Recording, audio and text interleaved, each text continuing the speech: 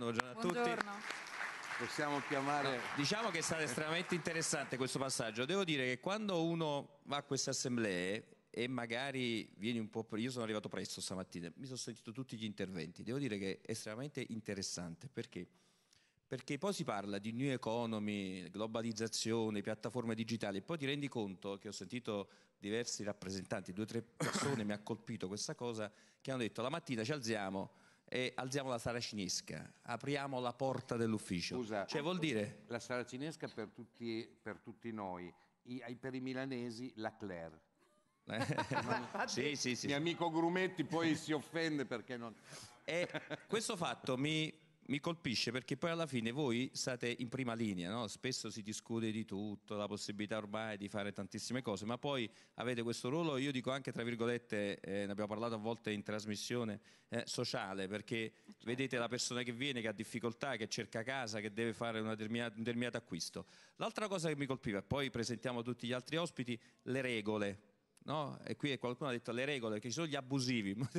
e voglio dire, gli abusi, l'abusivismo mi sembra un altro elemento che ormai si sta ampiamente diffondendo, no? non solo nel vostro settore, ma in tanti altri campi. E chiudiamo, avete chiuso con questa cosa, io dico l'invasione di campo, perché queste banche hanno fatto una sorta di invasione di campo, ci avete raccontato queste trattative notturne e questa eh, improvvisa dietrofront che c'è stato su una vicenda di cui parleremo, perché io direi di chiamare eh, gli altri ospiti di questa tavola rotonda partendo proprio da questo elemento, perché anche i consumatori, il cliente, il cittadino deve aver paura di una banca che in qualche, qualche paura tra virgolette per carità perché sennò qua le banche magari ci mandano subito qualche fulmine e ci colpiscono ma eh, eh, in qualche modo hanno un capitale informativo le banche di natura finanziaria, patrimoniale eccetera che in qualche modo rischia di mettere in difficoltà anche il cittadino che va in una filiale. Allora io direi di far venire sul palco il segretario nazionale della Di Consum Andrea Di Palma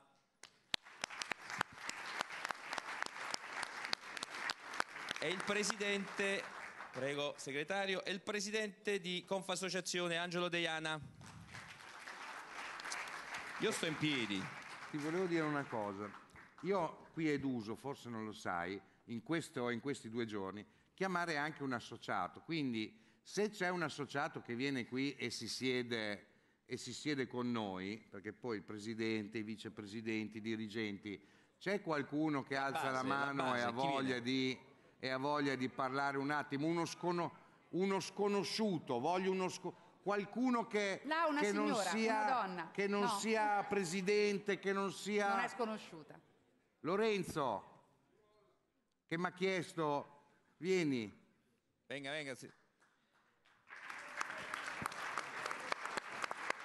Lorenzo Ciabilli, tra le sue caratteristiche, oltre ad essere un associato, è che è tifosissimo di Valentino Rossi.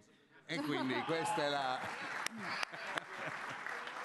Allora, Presidente, visto che lei ha chiamato diciamo, uno della base, mi permettono i, i nostri amici, il Presidente, il Segretario Certo. e l'Onorevole, però vogliamo sentire, io partirei da questo rapporto difficile con le banche, perché voglio dire è qualcosa che in qualche modo rischia di penalizzare fortemente una Con le, categoria. con le banche, però attenzione, con due Non banche. tutte le banche. Perché noi qui abbiamo tanti amici, abbiamo BNP Paribas, abbiamo anche tante altre convenzioni, quindi con, queste- con questi due istituti, no? Allora io direi proprio, lei che rappresenta la base, un operatore, che rischi ci sono sul territorio? Perché magari lei c'ha l'agenzia e a fianco c'è una filiale di una di queste due banche, noi non nominiamo più perché sennò diventa fra poco...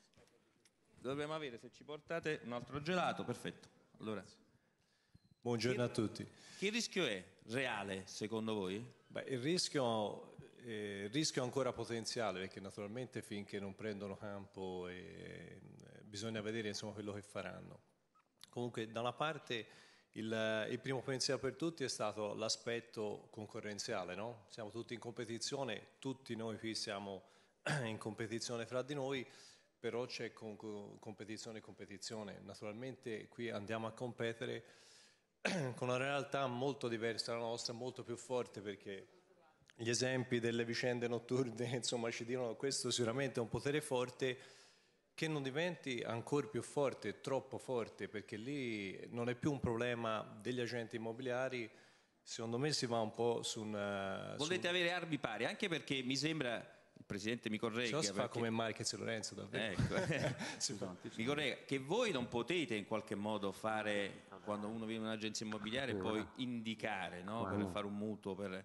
Il Quindi cliente siamo, dove, dove vuole fare il mutuo l'altro gioca con due mani. Dove vuole fare il mutuo e dove si fa. Quello noi lavoriamo in tutte le banche, con tutte le banche, in, in questo senso.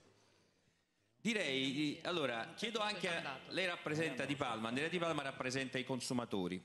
Allora, allarghiamo un po' l'orizzonte perché c'è la vicenda delle due banche, ma ci sono altre istituzioni, la Banca d'Italia, le authority, no, ci sono in questo paese perché poi io ho visto un carteggio anche del Presidente che ha mandato molto dettagliato, me lo sono letto ieri sera perché sono diverse pagine, sia alla Banca d'Italia che all'authority. Allora, che fanno? Perché poi qui è un paese strano l'Italia, dove improvvisamente c'è la Banca d'Italia, una struttura molto corposa, con tante persone ben pagate, ricordiamolo, ben pagate, e poi si scoprono che quattro banche italiane stanno in fibrillazione, hanno i conti in dissesto. E il rischio reale è per i consumatori qual è? Di ritrovarsi una banca che vende eh, immobili e magari e poi sa tutti i dati. anche un mutuo che ti indica la banca eh, sono tanti i, i, punti. Io credo che, e questo mi associa assolutamente a quanto diceva prima il Presidente Righi, che c'è della buona politica in Italia.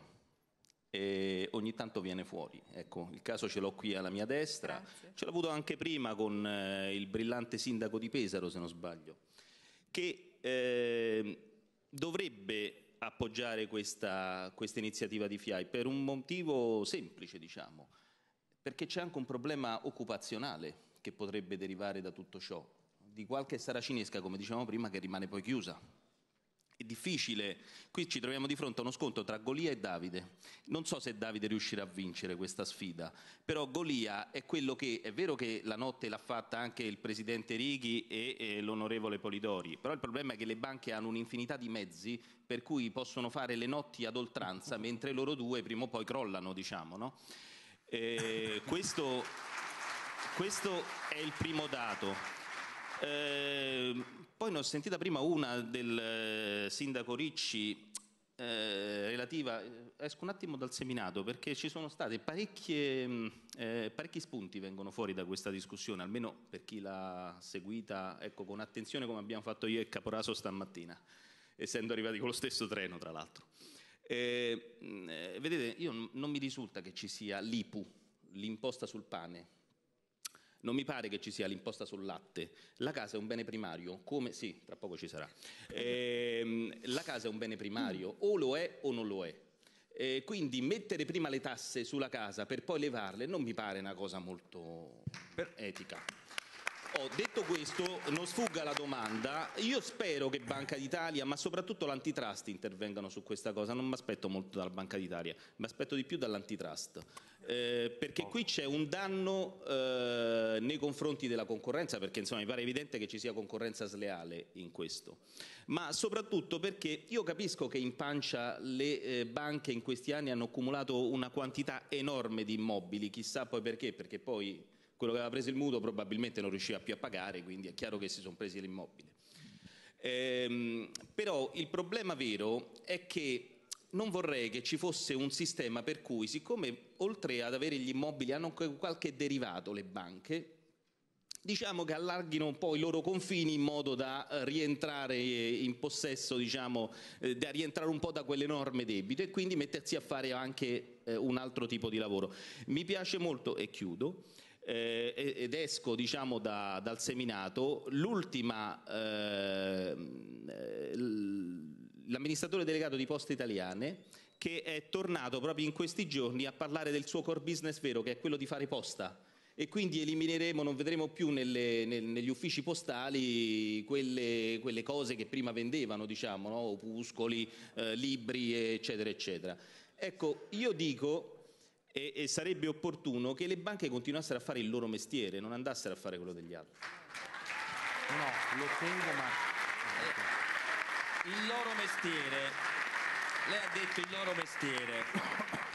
Il presidente Righi mi ha sostituito va a fare una trasmissione televisiva, no scherzo, va a fare un'intervista, quindi poi ritorna. Allora, lei ha detto, ha chiuso dicendo il, il, ognuno deve fare il proprio mestiere. Mi sembra una strada fondamentale, perché qui poi ricordiamo un po' tutti come è partita la crisi, no? la crisi mondiale, lasciamo stare il nostro paese, ma perché un po' le banche hanno iniziato a fare un po' di tutto, le banche, tante strutture, cioè la banca ha un ruolo sociale, ricordiamo com'è nata la banca, che deve prendere soldi dai risparmiatori e dovrebbe prestarli poi a chi ne ha bisogno. Lo chiedo a Deiana che è un attento osservatore anche per il suo trascorso insomma, di tutto quello della realtà sociale del nostro, del nostro paese. Lo fanno ancora? E questo che, qual è il rischio reale? Di tutto questo, perché secondo me ognuno dovrebbe fare poi il suo mestiere, altrimenti si accavallano le cose, c'è un'invasione di campo, c'è il rischio ecco, di incamerare magari dei derivati eh, e altre cose, di penalizzare chi fa il lavoro, in questo caso gli agenti immobiliari, ma potremmo parlare di tantissime altre attività, perché poi non dimentichiamo che alcune banche addirittura metteranno tra poco gli elettrodomestici, venderanno elettrodomestici. Eh, Li hanno già messi. Già lo fanno. Già lo fanno, sì, ma dico tra poco mi dicono che faranno eh, assicurazioni, altre cose, le auto, non ne parliamo. Quindi è, è vivacissima, li vedo agguerritissimi. Vabbè, lo diciamo a Deiana che, che ci può dare come indicazione. Ma io, io qui sono in imbarazzo. Perché? Perché io sono tutte e due. Io sono il presidente di una grande confederazione di associazioni professionali di cui fa parte FIAIP e nel contempo sono un amministratore legato a una banca investimento. Non una banca di quelle due di cui abbiamo parlato, per cui tenterò di darvi tre motivi per rispondere alla domanda del conduttore, per provare a riflettere tutti insieme su dove si va nel futuro. Il primo motivo sul quale ragionare, la prima riflessione importante, io credo che sia quella di andare ad osservare cosa è successo in altri settori. Pensate alla grande distribuzione e ai piccoli commercianti. È sempre successo che le grandi, grandi entità, grandi reti, grandi soggetti hanno piano piano smangiato il mercato di altri. Perché l'hanno smangiato? Perché evidentemente hanno economia di scala, hanno tutta la filiera, adesso parliamo del vostro settore, eh, possono diciamo così, collocare il mutuo, eh, vedono il valore mobiliare e via dicendo. E allora lì l'unico modo per combattere questi grandi soggetti, al di là delle battaglie politiche e giuridiche che evidentemente io sono molto d'accordo che più che Banca d'Italia sarà l'antitrust che farà delle riflessioni in materia, ma al di là di quello l'unico modo, come dice sempre il mio amico Roberto Barbato, che vedo qui davanti, è quello di alzare il livello di professionalità. Perché tanto alla fine loro non dormono la notte, cambiano gli ordini del giorno, fanno tutto quello che possono fare entità che dispongono di migliaia di filiali. Pensate anche a che sistema a rete sul territorio. Dall'altra parte, questo meccanismo di inglobare mestieri degli altri, come diceva eh, il buon dottor Caporaso, è una cosa che succederà per forza. Perché succederà? Le banche hanno 80.000 esuberi e con l'arrivo sul mercato dei nativi digitali in filiale non ci andrà più nessuno. E quindi l'unico modo che hanno per attrarre traffico, ve lo dico in questo modo, è quello di riempire di altri contenuti, loro, di chiuderle oppure di riempirle.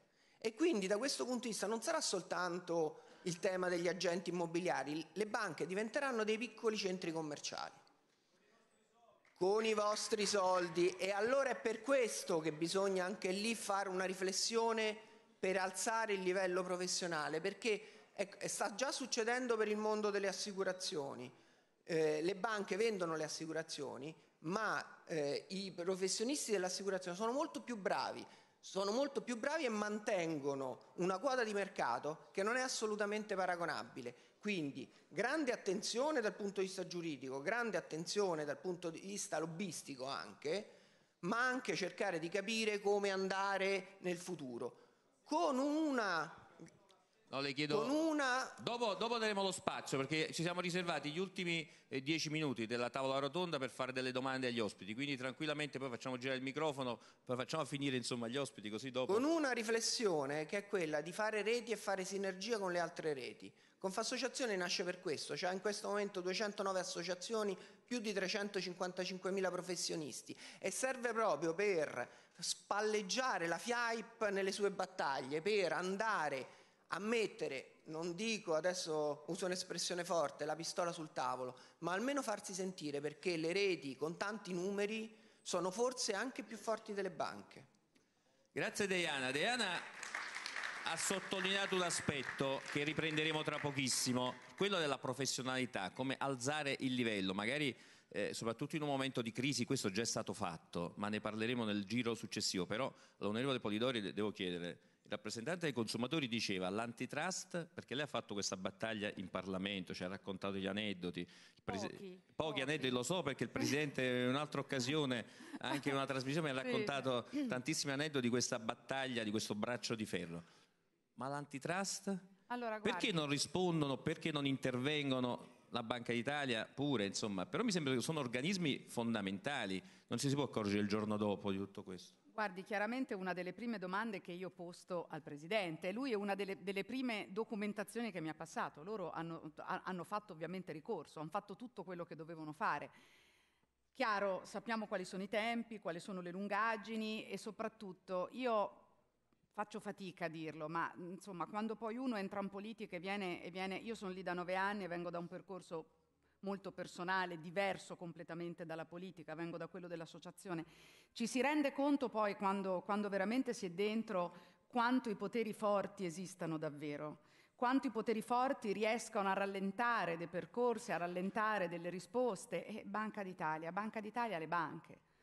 E peraltro non c'è nulla, è questa la distorsione del sistema, non c'è nulla che faccia in modo che a queste banche non sia stato prima, ora nel futuro vedremo, ma insomma non sia stato prima proibita una cosa del genere. Ma guardi che non mi riferisco, perché io condivido molto l'analisi fatta dal, dal dottore, cioè la libera concorrenza a me sta bene, chi è più bravo poi emerge, quindi sono certa che si passa anche attraverso ad una qualificazione del lavoro dell'agente immobiliare, ma dall'altra parte quando io parlo di concorrenza sleale ne parlo perché le banche chiaramente dispongono di informazioni molto sensibili, informazioni che dovrebbero essere anche rispettose, cioè non dovrebbero essere divulgate eh, per, per il cliente, ma mi preoccupa molto il fatto che quando si dispone di particolari situazioni debitorie, cioè quando noi siamo in debito per X motivi verso questa banca, si è, quindi qui parlo veramente della persona che va ad acquistarsi un immobile, si è veramente dalla parte disperata della situazione. E in questa parte disperata non conta la professionalità di chi vende la casa, purtroppo. Cioè qui conta che il disperato, il disperato fa lo scambio che meglio, che meglio gli si avvicina. Ecco, questa è, è la cosa per cui io veramente mi sono, ci ho messo l'anima e il cuore su questo provvedimento. Poi magari Diana ha detto quest'altro aspetto che mi sembrava interessante perché dice c'è tanta gente, abbiamo visto gli ultimi, gli ultime, le ultime notizie su una di queste due banche, Esatto. dice 9.000 persone che devono essere licenziate. Esatto. Allora diventa un meccanismo insomma, di Beh, compensazione. scusi, io, io mi permetto, Però il rischio è che ragionato- 9.000 si salvano di là e 9.000 si perdono Capisce? nel Cioè, settore degli punto, agenti immobiliari. dire, un numero no, ma per- de- detto questo, allora, detto questo, siamo in una situazione particolare. Ora io non voglio di nuovo girare il dito dentro la piaga, ma se lei pensa che prima che si sapesse, poi c'è sempre chi lo sa prima, che qualche banca potesse essere in difficoltà, noi in Parlamento siamo stati costretti, io ovviamente non l'ho votato nel mio gruppo, ad accettare che chiunque avesse un conto corrente, lei dice saranno pochi, però ci sono e se li sono sudati perché i ladri immagino e vorrei sperare insomma che non abbiano il conto corrente in banca, chiunque abbia un conto corrente anche per pochi giorni superiore di 100.000 euro, quindi di 100.000 e un euro, debba dare alla banca in difficoltà, guardi che questa è una cosa incredibile, qui non si è mossa Banca d'Italia, l'8% dei suoi soldi. Cioè noi prima andavamo in banca per, come dice lei, il ruolo sociale, portavamo i soldi perché questi soldi ci rendessero un qualcosa prestandoli a chi ne aveva bisogno. Noi adesso con questa norma siamo arrivati ad un salvataggio che ha del ridicolo. E questo che serve? A mantenere i 9.000 posti di lavoro? Bene, allora c'è già questo. Non è che possiamo andare a togliere lavoro a tutti gli altri piccoli imprenditori. Cioè,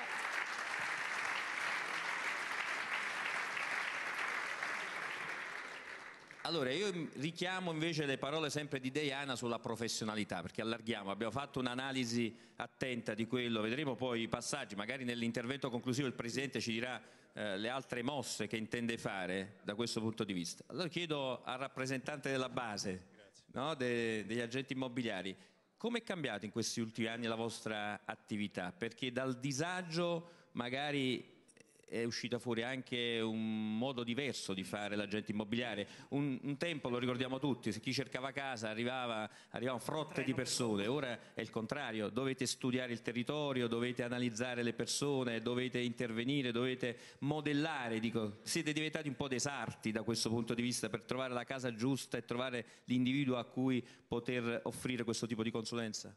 Beh, sicuramente la crisi ha fatto una grossa selezione, quindi chi ha superato la crisi sicuramente l'ha superata non per la fortuna di, di riuscire a vendere, ma perché se l'è meritato, perché è bravo da un servizio che non credo un grande gruppo possa improvvisare. Cioè qui penso almeno i colleghi abbiano tutti almeno 10 anni, se non 20 di esperienza.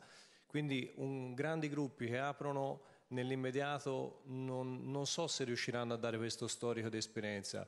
Naturalmente eh, un conto è la, cioè, grandi gruppi esistono anche già adesso, esistono già da anni e stanno in piedi, però non hanno questo doppio legame finanziario e, e, legato all'intermediazione creditizia, all'intermediazione immobiliare. Cioè qui il, il, il, discorso è proprio la concorrenza sì, ma a, a pari regole, a pari mani libere, mani libere, non con la mano legata Se lo stesso ti dai il mutuo e ti vende la casa, ti viene il dubbio che quel mutuo sia dato perché c'era da vendere la casa. E allora il sistema diventa più fragile perché comunque sono mutui probabilmente un po' più delicati.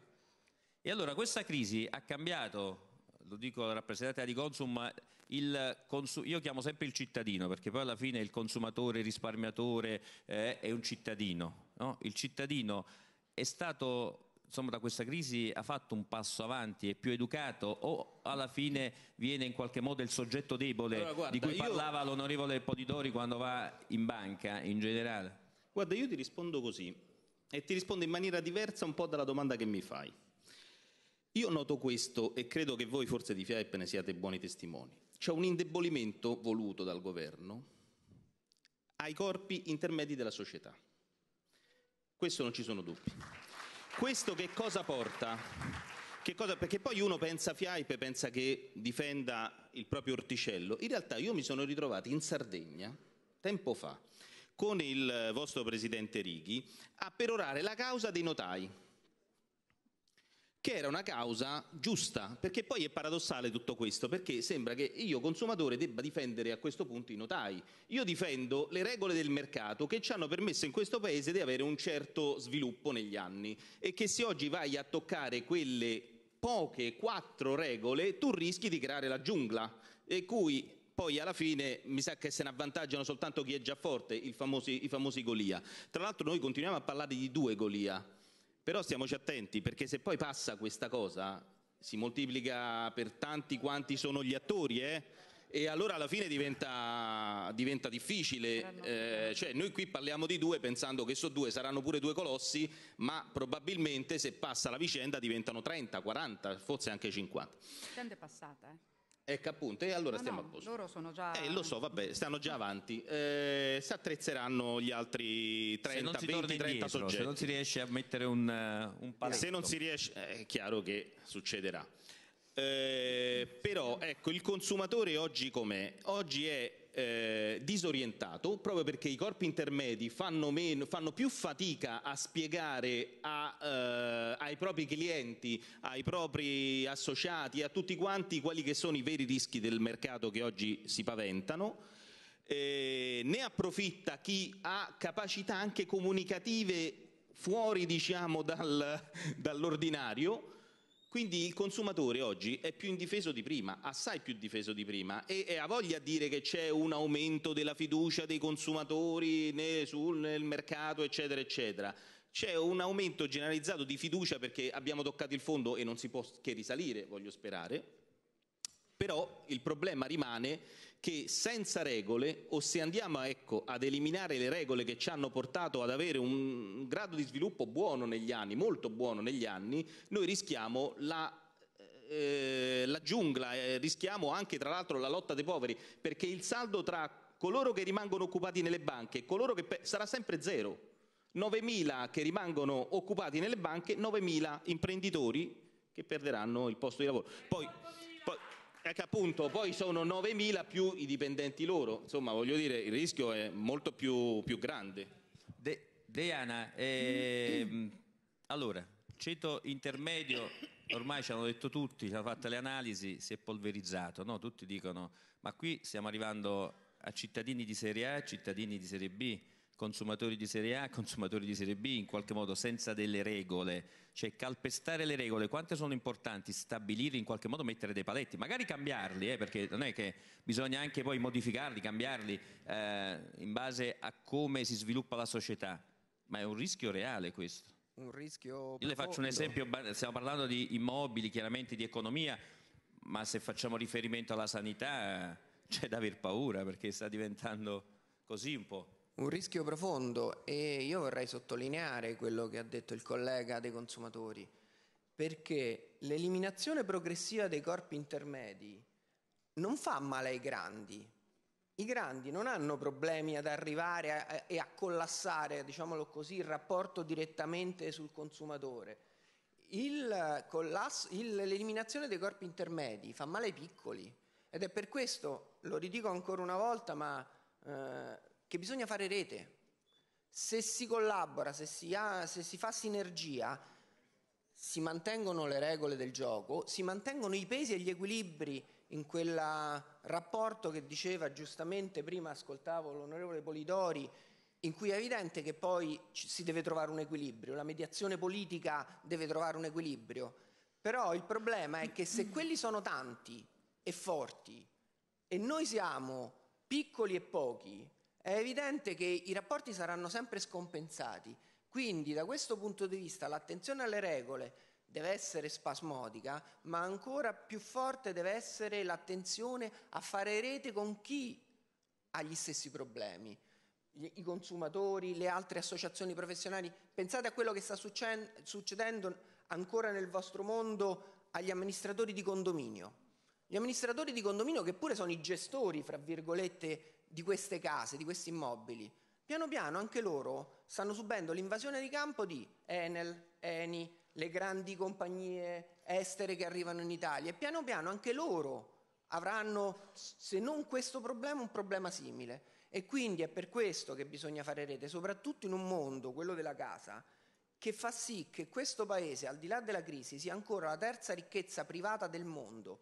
Dati Banca Italia, 8.400 miliardi di euro di patrimonio fra asset, asset liquidi, quindi investimenti finanziari e immobili, 6.200 miliardi di immobili che sono un pezzo di presente, un pezzo di passato e un pezzo di futuro di tutti noi.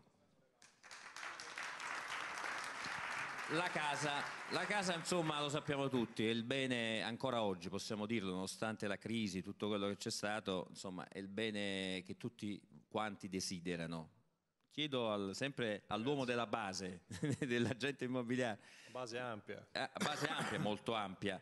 Eh, le chiedo, perché poi voglio sentire gli altri, que- hanno tolto la tassa su questo cambiamento anche dal punto di vista di tassazione. È stata tolta questa tassa, magari sentiremo anche il rappresentante della politica ma questo ha già prodotto un effetto? Già lo sentite voi in agenzia? C'è davvero questa, bisogno... questa, effervescenza nuovamente nel mercato immobiliare? È difficile da o dirsi, sono previsioni? Però, però, sicuramente non guasta, diciamo, poi venendo da, da, anni di austerità, di sacrifici, sicuramente ogni segnale è comunque un'inversione di tendenza, eh, sono segnali di per sé stessi che comunque eh, aiutano, sicuramente non guastano. Quello Quindi ci sta un minimo di ripresa. Però non è concretamente ancora tangibile, è solo un segnale, una percezione. Ecco. Deiana, ma secondo lei questa ripresa, perché qualcuno mi ha detto sì, da un lato è stata tolta questa tassa, ma c'è la riforma del catasto. No? Ieri ho sentito un'intervista di una persona, abbiamo intervistato eh, proprio sulla questione della riforma di questa della divisione del catasto. Poi magari la Tari l'aumentano un altro poco, tutto questo alla fine la persona che vuole magari fare un investimento rischia di un'altra volta di fare un passo indietro perché dice eh, quanto mi costa una cosa del genere. Il rischio è che poi sia un giro, un giro e si ritorna sempre alla prima casella, una sorta di gioco dell'oca?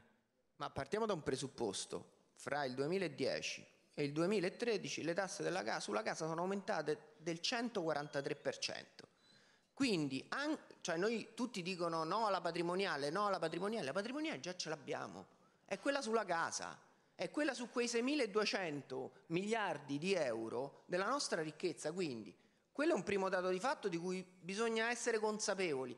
Qualsiasi diminuzione di questo diciamo così, eh, rapporto invasivo del fisco con la casa non può che essere ben accetta, però è evidente che si tratterà di una partita di giro. Noi continuiamo a fare eh, leggi di stabilità in deficit e quindi significa che quei soldi che noi risparmiamo eh, sulla, eh, fra virgolette, casa va, vanno da qualche altra parte, devono essere compensati da qualche altra parte, che sia la Tari, che sia il taglio alla sanità che è stato ricordato e quindi da questo punto di vista l'orizzonte non può che essere quello di rimettere a posto in termini concreti un sistema di tassazione complessivo dove è evidente che c'è qualcuno che sta eh, sostanzialmente facendo festa con i soldi degli altri.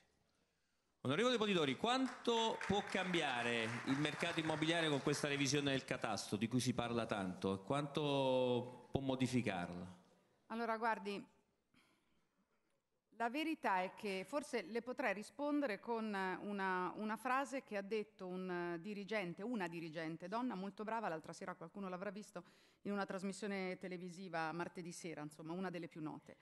E quando stava spiegando la diminuzione di questa tassa, eccetera, eccetera, con ovviamente noi che abbiamo sempre detto no la tassa sulla prima casa, ma soprattutto poi su tutto il resto, no la tassa su, sulla successione, no la patrimoniale, la patrimoniale effettivamente c'è, non ce l'abbiamo, cioè la, la casa non è più nostra, no? Voglio dire, oggi se io, ma credo molti di voi, dovessimo ereditare una casa importante, io sa- sarei nelle condizioni di doverla rifiutare cioè non sarei nelle cons- sarebbe una disgrazia oggi ereditare una casa, no? perché non, non si è in grado di poterla gestire ovviamente. Allora, la cosa che è importante è stata la risposta che ha dato. Le, l'ha detto lei, per cui non lo voglio dire io, ha detto, beh, è ovvio, proprio è ovvio, che la coperta è quella e quindi anche se si toglie la vecchia IMU, comunque ci sarà l'aumento di qualche altra tassa. È chiaro che se si continua a fare leggi di stabilità in deficit, e qui concordo pienamente con quello che ha detto il dottore prima, noi non se ne verrà mai fuori. Cioè le leggi di stabilità vanno fatte prendendo soldi dai tagli, che è l'unica cosa che si può fare, ma abbiamo visto che eh, sulla spending review se ne sta andando più di una persona, insomma, perché per carità di Dio non è una cosa semplice, ma poi, si sa, non si vogliono toccare alcuni interessi. Basterebbe fare un minimo accenno chiunque di voi si sia trovato in una situazione critica, magari familiare, un minimo accenno pensando alle case farmaceutiche. Cioè noi stiamo spendendo talmente tanto semplicemente perché c'è un cartello fortissimo delle case farmaceutiche e noi in sanità stiamo pagando una chemioterapia quattro volte di più magari quella che viene pagata da un'altra parte. Quindi questa riforma secondo me porterà veramente a poco. Deiana voleva intervenire su no, questo punto. Una battuta soltanto a proposito del rapporto fra banca, cittadino e fisco.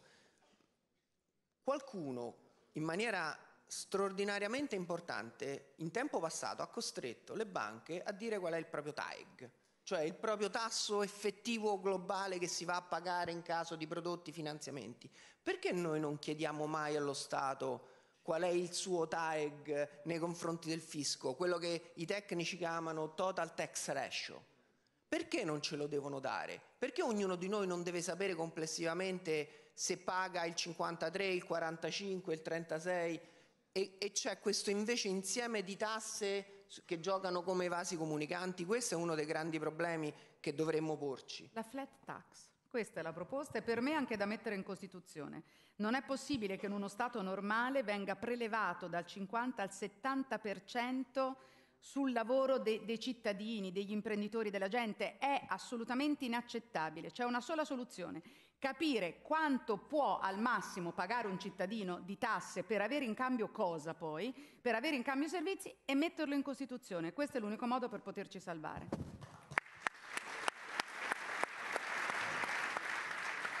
Io poi andrei. Sì, sì, di Palma. Di Palma facciamo e poi sentiamo, sentiamo Presidente. Devi andare via. Se, se, io posso vorrei tentare di votare la fiducia, non ce la farò, ma almeno gli ordini del giorno, esatto. dato che ci sono, tenterei di andare. Allora io direi di salutare l'onorevole Io vi ringrazio, Polidori. grazie, grazie a tutti Carta. davvero. Aspetta che ho i fili. Grazie, grazie. A presto, arrivederci, grazie. Una sola cosa, io ci sono nel senso che ora dateci un mese e mezzo per riprenderci, ma io sono assolutamente a fianco alla FIAP. Come avete capito la sento molto questa battaglia perché per me è una battaglia di giustizia. Quindi diciamo che a gennaio, se ci darete tutti una mano, perché poi abbiamo bisogno che ognuno di voi ne parli, ne parli eh, nei luoghi deputati a parlarne, che sia eh, sui social, che sia sui giornali, fatelo, perché questa è veramente una battaglia di dignità per chi lavora in proprio. Arrivederci. Salutiamo l'onorevole Polidori. Allora, Presidente, io direi, sentiamo anche, vorrei fare una domanda al io, rappresentante. Guarda, solo una battuta. Sì. Così, se non eh, vengono abbattute le tasse sulla casa, non ripartono le vendite, non riparte la ristrutturazione e quindi l'edilizia, non riparte il Paese perché il Paese si basa, eh, anche il suo miracolo economico degli, di tanti anni fa, partì dalla casa. E la casa è il bene primario degli italiani fino, ed è sempre stato il famoso bene rifugio degli italiani. Se non riscopriamo questo, io non credo che riusciremo ad uscire da questa crisi in cui ormai ci avvitiamo continuamente come un cane che si morde la coda. Quindi qui il messaggio non può che essere uno, la casa va tutelata, il mondo della, della casa va tutelato e, eh, perché quella è la nostra unica vera opportunità. Io non credo che lo sviluppo passerà per le auto, non credo che passerà per le, eh, le, fare lo, il ponte sullo stretto di Messina. Io penso che partirà da una cosa semplice, comune, se vogliamo banale, come quella della casa. Sì, Presidente, poi magari so che qualcuno vorrà fare delle domande perché ho visto tante voci dalla platea, magari per raccordare un po' il tutto. Eh, insomma, questa casa una volta era il bene che si tramandava no? da padre in figlio, poi magari il figlio lavorava e cercava di acquistare un'altra piccola casa, una casa al mare. Eh, non è pericoloso anche da un punto di vista sociale perché lei me lo insegna e tutti quanti voi che state in platea e c'è stata una crescita no? della cosiddetta nuda proprietà, quindi tantissime persone anziane che si tolgono quella casa che magari a cui erano particolarmente legate. Insomma, c'è anche un rischio dal punto di vista sociale di rompere. No, il rischio, il rischio è assolutamente, lo sentiamo ormai dal 2011, perché al di là dell'impatto sociale sulla casa, no? un paese che ha l'82-83% di tasso di proprietà è un dato sociale. No? Cioè non è che lo puoi cancellare e come qualche politico dice, ah che bello stare in affitto, cioè, siamo proprietari, cioè, non, non, non, a chi le vendiamo le case, no? ma c'è una parte della politica ed è una teoria che in Europa è stata portata avanti, per cui copiata dai paesi del nord, in Germania ad esempio il tasso di proprietà è del 41-42% e qualcuno mi dice ma come mai il tasso di proprietà è del 41-42%? Perché abbiamo la memoria corta, no? Cioè c'era il paese dell'est, nei paesi dell'est la proprietà non era ammessa, erano tutti in affitto. Quando si sono riunite le due Germanie, da una parte c'erano i proprietari e dall'altra c'erano gli inquilini. Quindi la cultura è quella dei paesi dell'est e molta parte dell'Europa ha questa concezione ancora, no? In fondo il muro di Berlino è caduto l'altro giorno, a noi sembrano decenni. Eh, eh, ecco. Allora il tema, il tema qual è? È che noi abbiamo, lo dicevo anche ieri, dobbiamo renderci conto delle caratteristiche del nostro paese. Se noi non ci rendiamo conto delle caratteristiche del, del nostro paese a livello sociale, a livello economico, cioè anche la distruzione della classe media per andare contro, lo sentivamo ieri no, dal, da, anche dal Presidente della Camera di Commercio, che voglio dire è uno dei più noti imprenditori italiani, non è quello che non capisce le cose, come può essere sembrato, anzi, ma c'è un'idea anglosassone sul modello anglosassone no? che mal si attaglia al nostro paese. Allora, l'anglosassone, il modello anglosassone è quello per cui tu puoi fare tutto tranne quello che ti vieta la legge. Noi italiani abbiamo 8.000 norme, 8.000 norme collidenti tra loro per esprimere un concetto. È chiaro che il modello anglosassone è quello, diciamo, che idealmente è più corretto. Il problema è che noi siamo in Italia.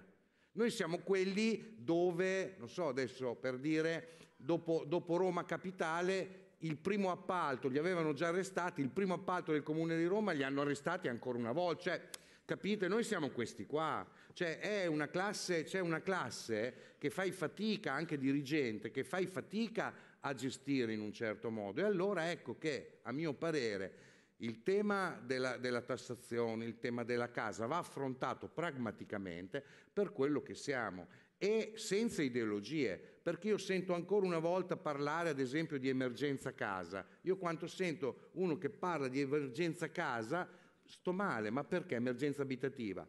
Perché le fasce più deboli non è che le deve gestire il mercato libero, cioè non lo deve gestire mio zio che ha comprato una casa dopo 40 anni e l'ha data in affitto e non riesce a liberarla.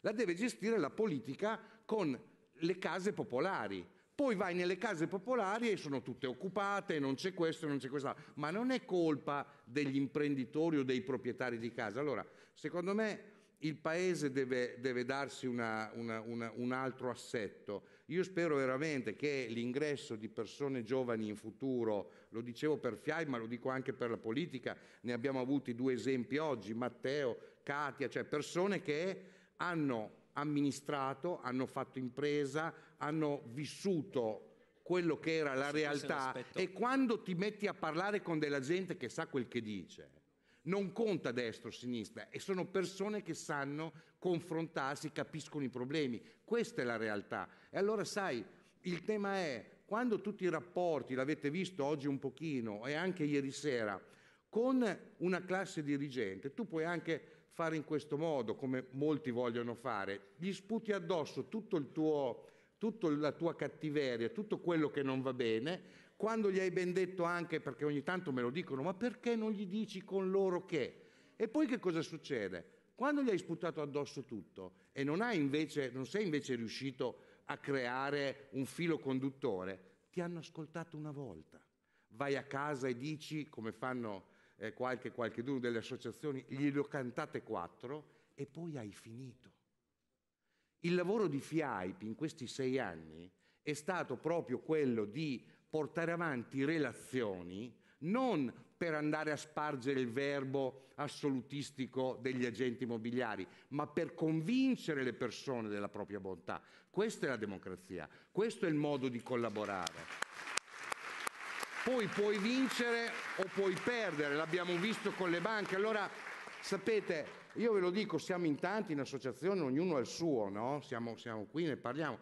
Però guardate che la strada è questa qua è quella del dialogo, è quella del, del lavorare con le istituzioni. Noi siamo un po' rovinati, lo dico eh, eh, eh proprio perché la politica, quando io sento dire ad esempio da eh, un esponente del centrodestra che eh, Grillo è come Hitler, ad esempio, a mio parere è un errore fantastico, cioè più, più, di così non puoi, ma come? Sono cittadini eletti, ti hanno, ti hanno eletto, no? ti hanno votato.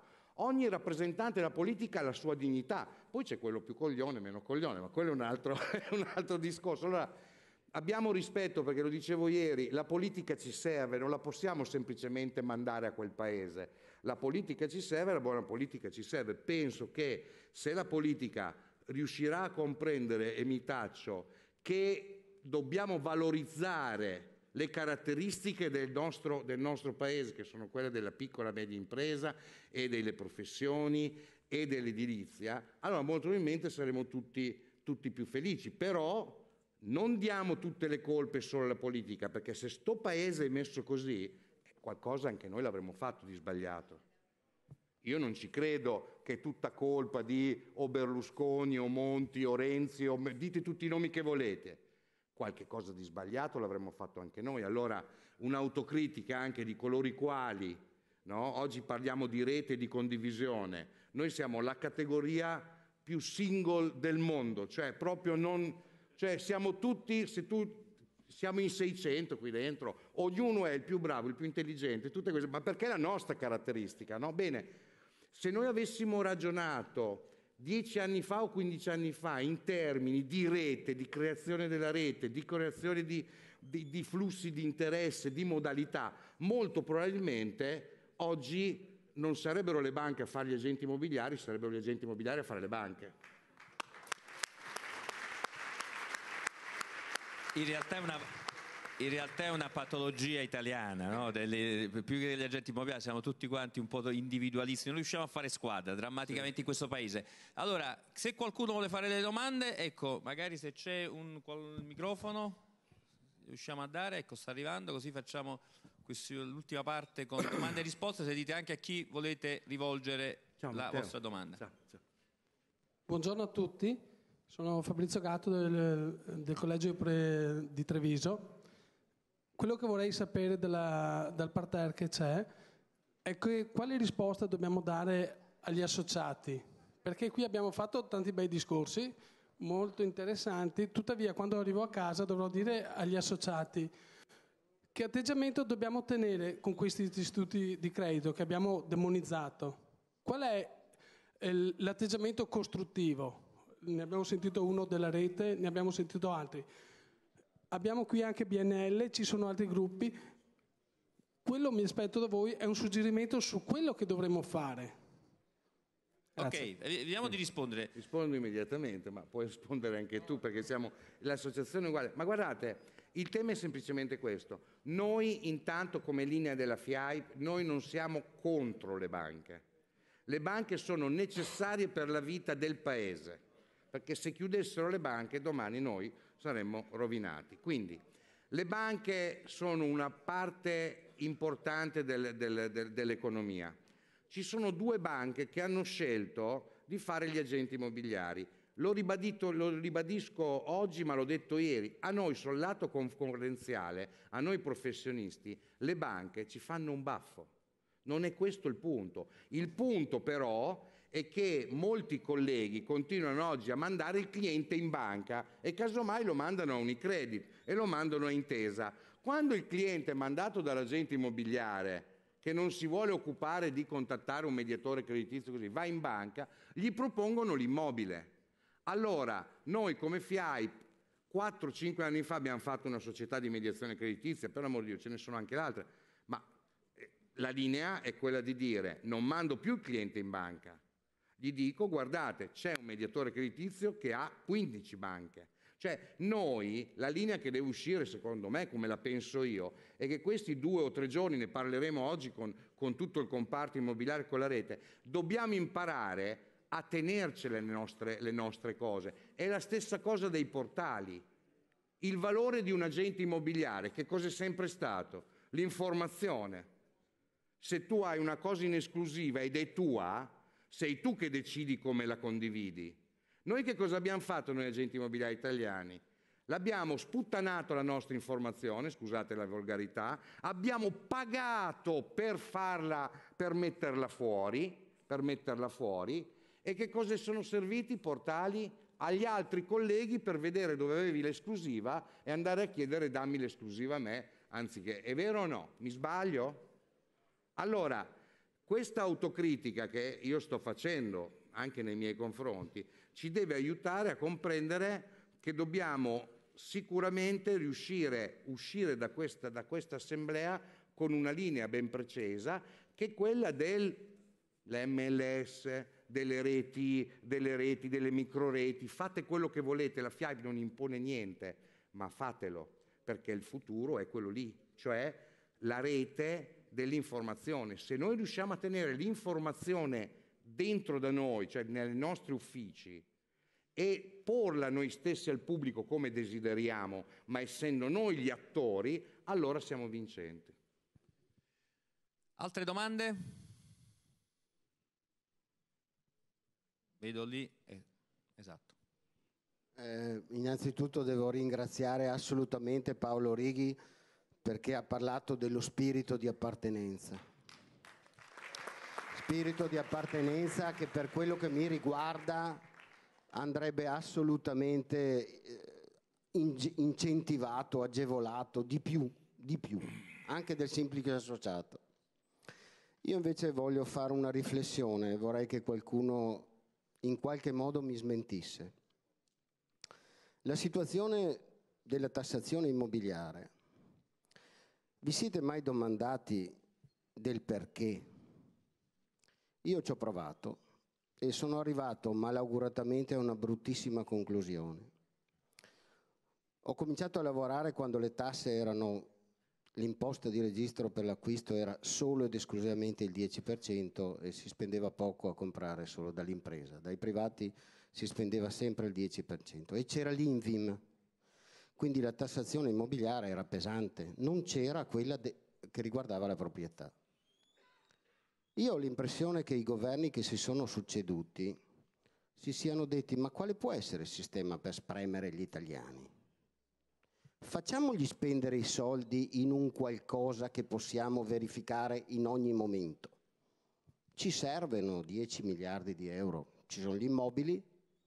Quando abbiamo convinto tutti gli italiani che il migliore investimento assoluto è quello dell'immobile, gli abbiamo portato via tutti i soldi che avevano dalle altre parti, negli investimenti finanziari, nei fondi, eh, sotto il materasso li abbiamo identificato dove andare a prendere i soldi. Mi sono sbagliato? Qualcuno che mi risponda. Allora, io direi di far rispondere ai nostri due ospiti. In realtà, io aggiungerei che oltre al settore immobiliare, un altro settore che si ragiona così, quando il governo, qualsiasi governo, ha bisogno di soldi, dove si va? O dai pensionati o sulla casa, perché sono tutti tracciabili no? da questo punto di vista, tutti ben individuati, come diceva il nostro interlocutore. Allora, un minuto e un minuto, eh, i nostri posso... rappresentanti dei consumatori. Ahimè, così... purtroppo non gli posso dare torto, cioè nel senso che l'hai detto proprio poc'anzi tu, eh, le cose più tracciabili sono i redditi da lavoro dipendente, e, ah, i conti correnti, va, terza cosa, i conti, conto corrente. Sì, i conti correnti e, eh, e, la casa. E quindi, siccome in questo paese c'è un alto livello di evasione fiscale, eh, che hanno fatto? Come dicevi giustamente tu, hanno colpito il bene primario degli italiani, quello più semplice, quello più verificabile, quello che poi l'82%, come diceva giustamente Righi, hanno gli italiani e quindi ha colpito l'82% della popolazione in maniera scientifica. Grazie Di Palma, diciamo l'ultima domanda perché poi dobbiamo chiudere. Non vedo con le luci se c'è qualche altro. Oppure... No, guarda, dico io una cosa per, per chiudere. Intanto hanno fatto gli auguri oggi a Pigi, però ieri era il, com- il compleanno di, di, Gennaro Pecchi e quindi eh, cioè, proprio compleanno passato all'assemblea è, è, è fantastico. E poi eh, volevo, volevo ringraziare Angelo, oltre a tutti gli altri, perché guardate, noi di solito siamo sempre siamo autonomi, no? e lo siamo anche in questo caso, non è che la nostra entrata in Confassociazioni ha leso la nostra, la nostra rappresentanza politica.